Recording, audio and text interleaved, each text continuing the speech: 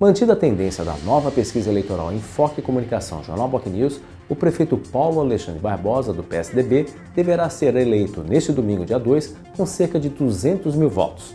Essa votação expressiva toma como base o total de votos válidos da eleição municipal de 2012. Assim, como Paulo Alexandre supera os 80% dos votos válidos na atualidade, são reais as chances dele atingir essa marca, superando até o ex-prefeito João Paulo Papa, que em 2008 foi reeleito com cerca de 191 mil votos. Confira, portanto, os dados da nova pesquisa. Na pesquisa espontânea, quando o entrevistado fala o primeiro nome que lhe vem à mente, o prefeito atinge 59,1% das intenções de votos, contra 52,6% do levantamento anterior.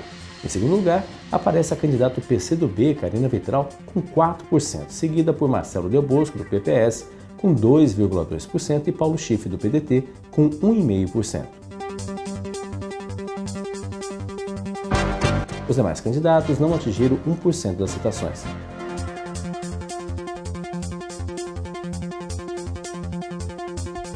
Indecisos chegam a 23,5% e os que pretendem anular, 8,2%. Já na pesquisa simulada, quando o entrevistador mostra um cartão por nome dos candidatos, o prefeito atinge 63%, crescendo em relação à consulta anterior, quando ele tinha 58,9% das citações. Os indecisos caem para 17,7%. Nessa pesquisa, a candidata Karina Vitral fica em segundo lugar, atingindo 4,3% dos votos, Marcelo Del Bosco 3,3%, enquanto Paulo Schiff 2%. Os demais candidatos não atingiram 1% dos votos cada.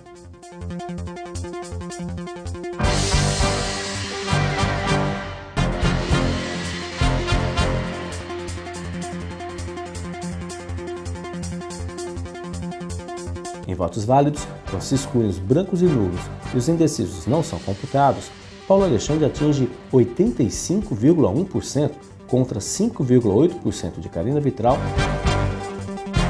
4,5% de Marcelo Del Bosco e 2,6% de Paulo Schiff. Os demais candidatos não atingiram 1% dos votos válidos,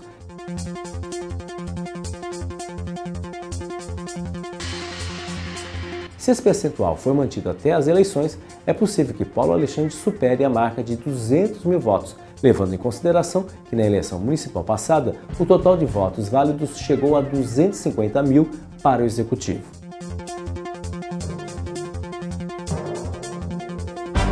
Se na disputa para o executivo o cenário está praticamente definido, para o legislativo a disputa permanece acirrada e os indecisos são representativos.